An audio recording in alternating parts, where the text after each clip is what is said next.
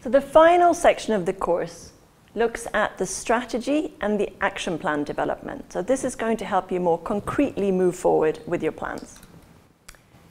Within this section, there are three main components. The first one is developing an internal strategy. Now, this is really looking at the, the capacities and the resources of the private sector network and the members itself, and trying to identify where some of the areas of common need or interest might lie.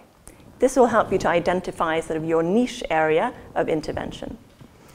Secondly, you will look at developing an external strategy. So this is looking at how you engage with, inform, and actually build relationships with the other actors that are already working within your context. So this will include, again, humanitarian actors, development actors, and the government.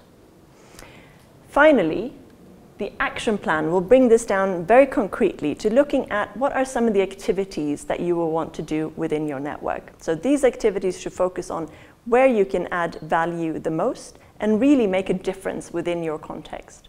It will also include identifying some ways of measuring the impact of what you're doing. The development of these activities will be supported by a range of resources that you're being provided with in the very last sections of the toolkit.